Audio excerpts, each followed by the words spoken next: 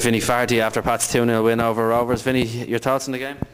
Um, I think we just weathered the storm in the first half, and um, you know when we came in at half time, we knew that the wind was a massive factor, and we had the advantage. Um, you know we were we were a little frustrated, me and Alex personally, like because um, you know the balls up were, were high. It was it was hard to deal with and stuff, but we just had to be patient in the second half. You know I think we had the upper hand and we we won two 0 but it could have gone either way really if they had taken their chance in the first half.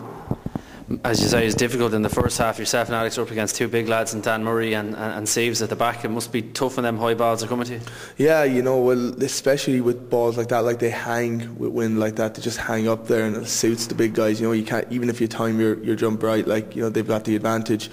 I think against guys like that, you need to play little one twos, little quick balls, but the conditions weren't suitable for that, and it was just frustrating you must have been glad to hear the half-time whistle and get in at uh, at nil nil. But second half was a, a, different story. Was it was it totally down to the wind, or was there anything said at half-time?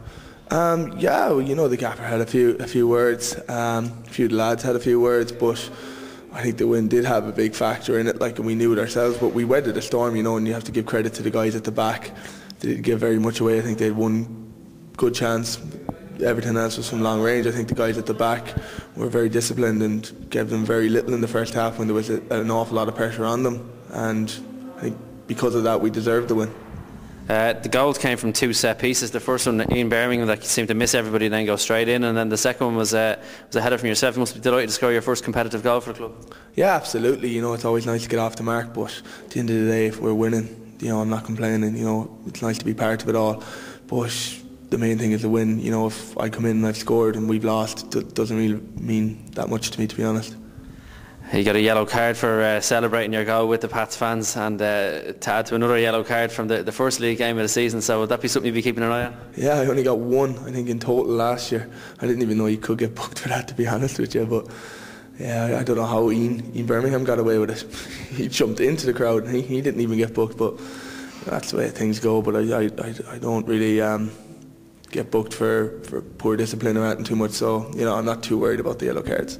There was a, a funny incident in the second half where a supporter seemed to come on and confront Gary Rogers. Did uh, what did you make of that? Did you see it? I, I, I, saw him on. I didn't know at first why why the game was stopped. Um, I saw our goalkeeping coach Milo darting up the pitch too, goalkeepers union I think. But um, yeah, you know, it was just just silly nonsense. Like I don't think he should have been able to get on the pitch. I think the players had to sort it out. There was no guards or stewards there, but you know that's a little incident. But it didn't put us off. We were focused on what we had to do. We were two 0 up, and we just knew that.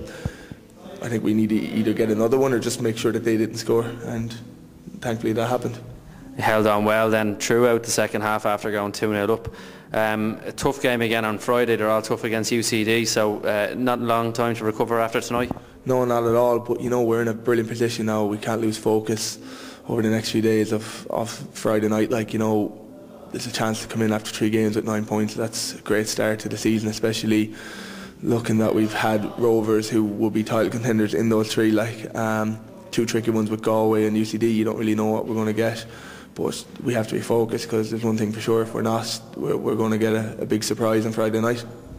A big crowd here tonight, a big contingent of Pats fans over. Uh, you got a good reception from them after you came out after the game. What did you think of them? Oh yeah, it was brilliant. You know, that's what it's all about, really. You know, it was lovely to come out and um, see them all still there. Like it was great. Um, hopefully, we can we can give them more times like that throughout the year, and hopefully, we can win a cup, maybe a few cups even, and be up there. I want to be up there, anyways, personally pushing up the top of the table. I'm sick of being down near the bottom fighting relegation. I don't think that's going to be an issue this year, but you know I think it's it's only fair they're paying money, and you know we saw them tonight. They deserve it too, like just as much as we do.